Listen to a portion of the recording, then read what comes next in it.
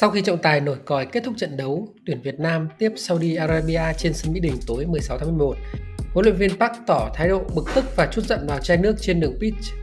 Tiếp Saudi Arabia trên sân nhà, tuyển Việt Nam có nhiều cơ hội nhưng không thể ghi bàn vào lưới đối phương, đặc biệt là ở ít phút cuối trận.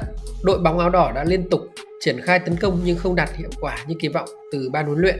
Kết thúc trận đấu, thuyền trưởng đội tuyển Việt Nam lộ rõ vẻ bất lực và giải tỏa bằng cách đá vào chai nước đang để ở khu vực đường pitch. Nhà cầm quân người Hàn Quốc từng chia sẻ bản thân ông chưa bao giờ nghĩ giành một điểm lại khó đến như vậy khi tuyển Việt Nam thua Nhật Bản 0-1 hôm 11 tháng 11.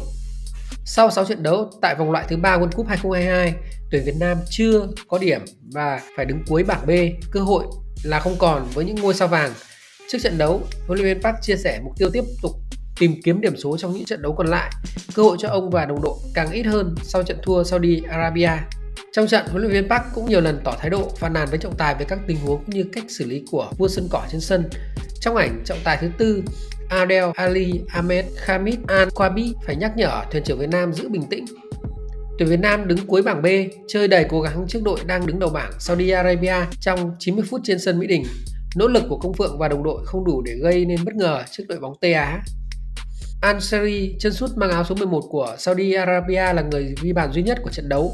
Trong số 3 bàn thắng của cầu thủ này tại vòng loại thứ 3 World Cup 2022, hai bàn được ghi vào lưới của đội tuyển Việt Nam. Kết thúc trận đấu tối 16 tháng 11, tuyển Việt Nam có ít ngày nghỉ ngơi trước khi trở lại tập trung tại AFF Cup 2020. Thầy trò huấn luyện viên Park sẽ có khoảng 10 ngày tập huấn tại Vũng Tàu